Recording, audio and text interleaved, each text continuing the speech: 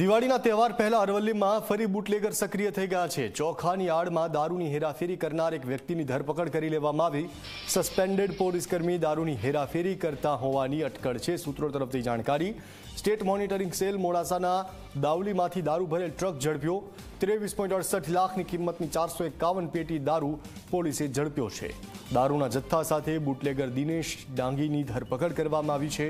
રાજસ્થાનથી શામળાજીમાં દારૂની હેરાફેરી ફરી શરૂ થઈ ગઈ હોવાની જાણકારી સૂત્રો તરફથી મળી રહી છે. ત્રેવીસ પોઈન્ટ અડસઠ લાખ રૂપિયાની કિંમત અને ચારસો એકાવન પેટી દારૂ તેની પાસેથી કબજે લેવામાં આવ્યો છે. ફરી એક વખત ગુજરાતની જે બોર્ડર છે ત્યાંથી દારૂ ઘુસાડવાના પ્રયાસો થઈ રહ્યા છે.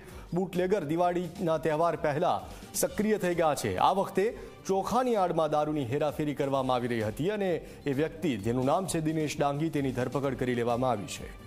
સંવાદદાતા સમીર બલોદ જોડાઈ ચૂક્યા છે. સમીર, ચોખાની આડમાં દારૂની હેરાફેરીનો પર્દાફાશ થયો છે. એક વ્યક્તિની ધરપકડ થઈ છે. તપાસ દરમિયાન શું ખુલ્યું? બિલકુલ ચિંતન, જો વાત કરવામાં આવે તો ચૂંટણી જ અરવલ્લી જિલ્લામાં દારૂ ઘૂસવાડવાનો કૌભાંડનો પર્દાફાશ થયો છે.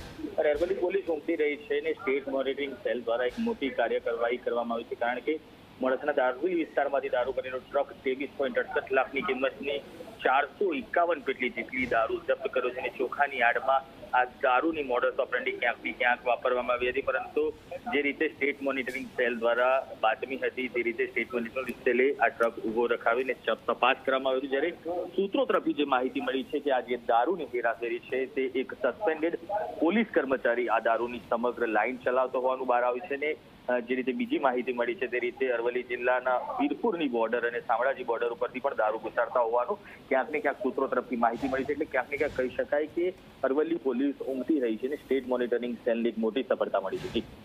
જે, આભાર આપનું જાણકારી આપવા માટે, સમીર